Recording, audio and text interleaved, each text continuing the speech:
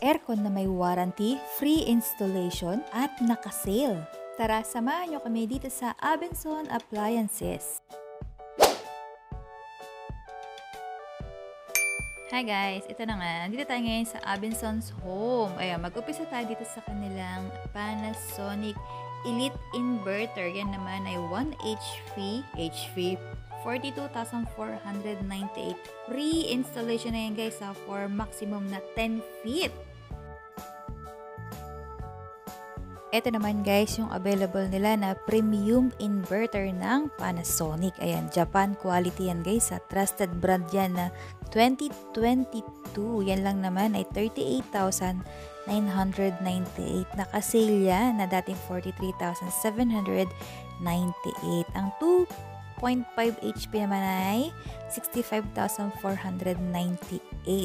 Para naman sa 2 HP, yan naman ay 54,998. At ang 1.5 naman ay 43,998. Dito naman tayo sa kanilang standard inverter ng Panasonic. Available din pala ang kanilang installment plan kung gusto niyo mag-avail ng hulugan. Ito rin guys ay 1 HP 35,998. At ang 1 HP naman ay 40,998. At kung gusto mo naman ng 2 HP, 51,998 naman yan. Meron din pala sila dito available na ganitong aircon guys, yung mga pang malakasang aircon. Yan naman ay free installation din guys ha. 134,998.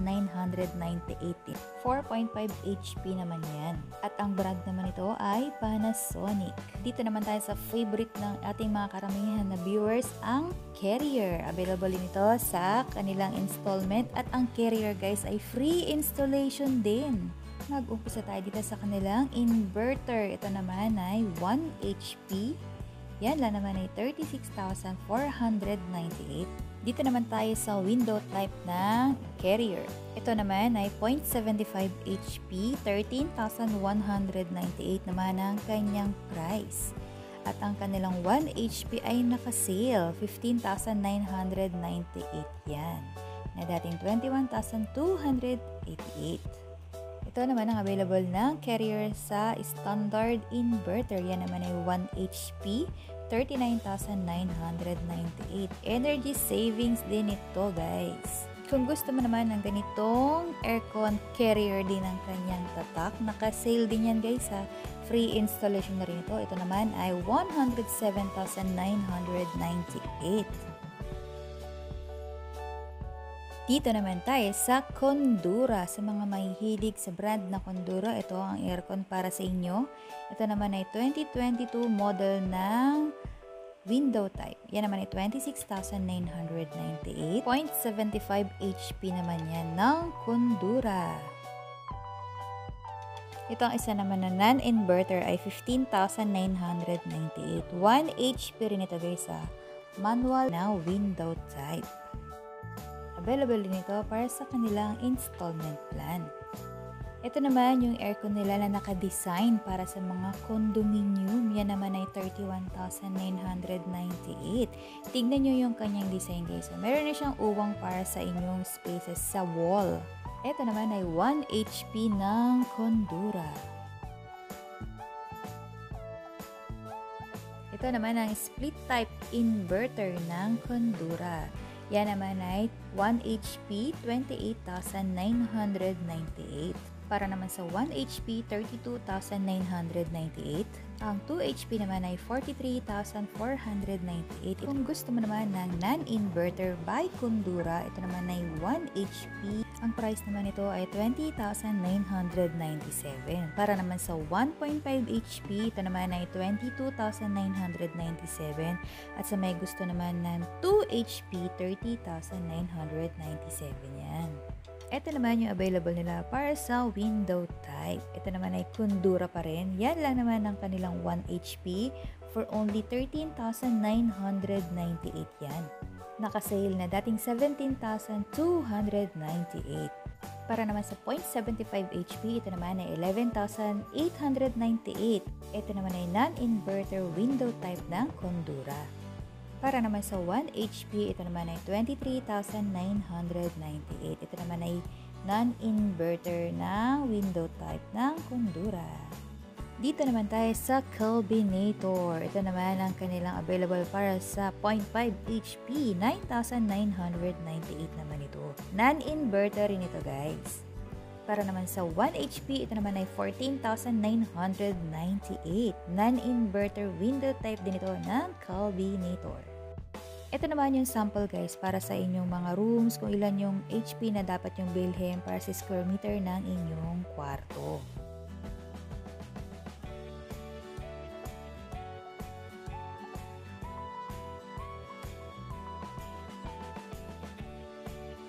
Meron din sila dito available na inverter na aircon from Carrier. Ito naman ay window type. Ang kanilang 1 HP ay 23,198. Ito naman ay meron ng ring remote. Para naman sa ganito ang design ng Carrier na inverter na 1 HP. Ito lang naman ay 28,998. Mas matipid ito kaysa sa isang inverter ng aircon ng Carrier. Ito naman isang latest design ng 1 HP aircon na Carrier. Inverter na rin ito. 30,998 naman yan. Dito naman tayo sa mga non-inverter na carrier. Ito naman ay 16,998. Yan naman ay 1 HP. Para naman sa small room, meron din sila dito available na 0.5 HP na carrier.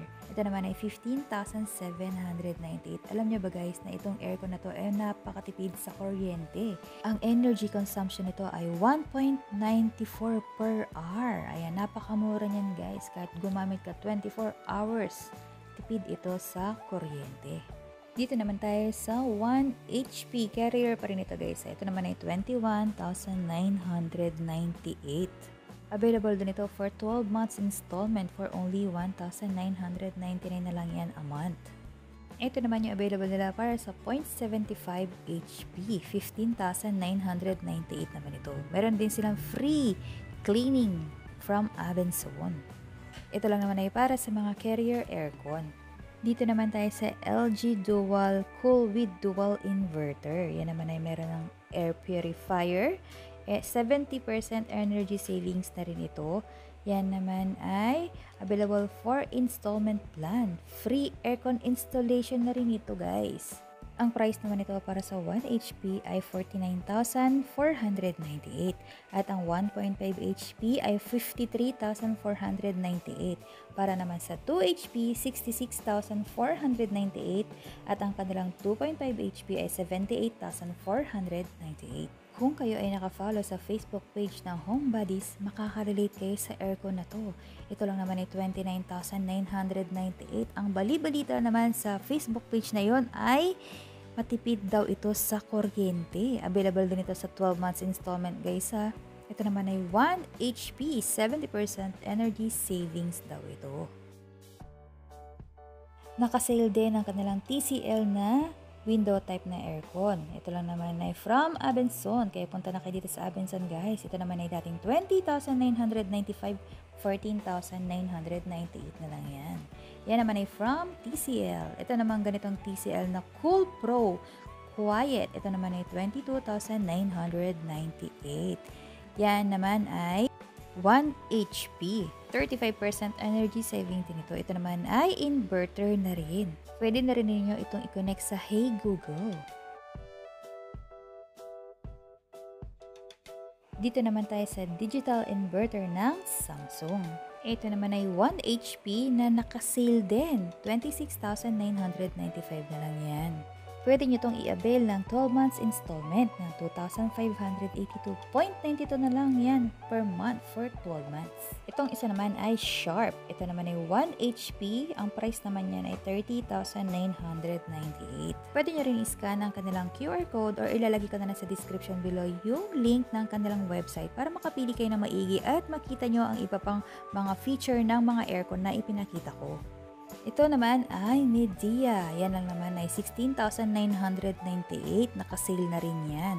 Yan naman ay available din for 12 months installment na 1,583 na lang. Para naman sa Colin na 0.75 HP, yan naman ay nakasale din. 22,998 naman ang kanyang price. Available nito for installment plan.